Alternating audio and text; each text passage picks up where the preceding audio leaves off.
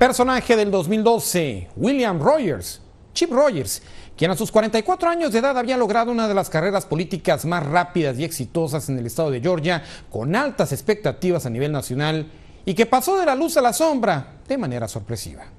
Con estudios en economía por Georgia Tech y una maestría en negocios por Georgia State University, Rogers se incorporó a las filas del Partido Republicano, donde se identificó con ideas y valores más representativos del ala conservadora, que arribó al poder en el estado tras la llegada de Sonny Perdue como gobernador en el año 2002. En ese año, Rogers logra un escaño en la Cámara de Representantes al postularse por primera vez para un puesto público vacante en el distrito que comprende el suroeste del condado de Cherokee, cual abarca las ciudades de Town Lake, Acworth y Woodstock, que a la postre se convertiría en su bastión político.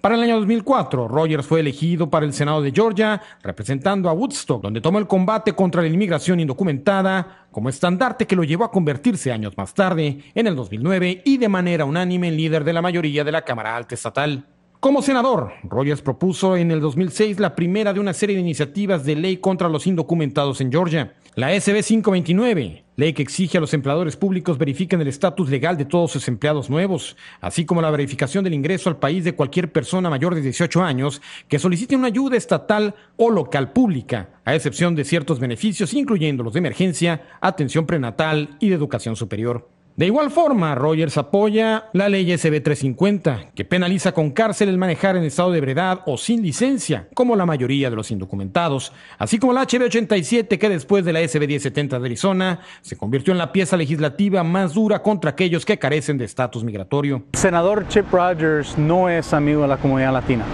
Él es la razón que tenemos el ambiente anti-latino, anti-inmigrante en este estado. Este, él es el arquitecto de toda la legislación que ha salido que está en contra de nuestra comunidad, que ataca a nuestra comunidad.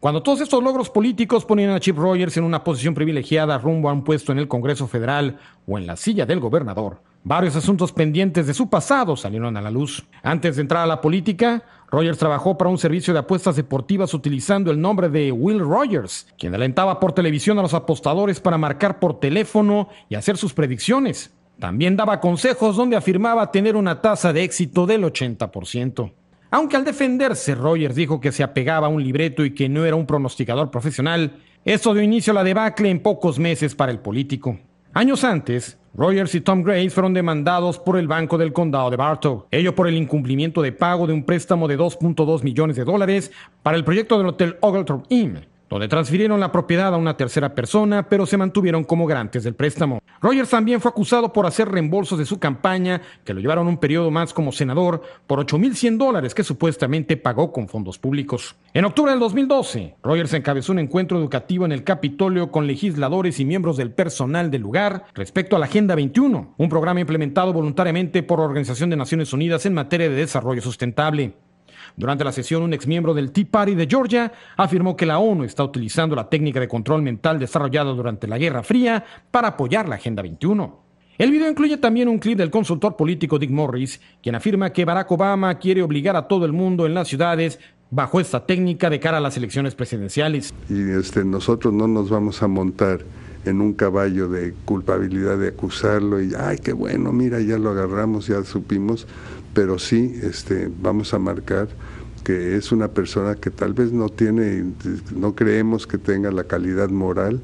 para ser este, la persona que define la, la, vida de los indocumentados. Un video de la reunión es filtrado a la prensa y Rogers con ello anuncia su dimisión como líder de la mayoría del Senado estatal. El 4 de diciembre anunció que se retiraba definitivamente de la Cámara Alta para tomar un trabajo aún sin especificar en el sistema público de radiodifusión del estado de Georgia, Georgia Public Broadcasting. Pues este es Chip Rogers, uno de los personajes, como bien lo mencionara Jerry González, director ejecutivo de Galeo, que fue el arquitecto de las principales políticas en contra de la inmigración indocumentada y que pusiera a una comunidad como la latina en niveles críticos. Como críticos también fueron los niveles o el número de muertes ocurridos en el lago Lanier durante el año que termina. Esto y más al regresar.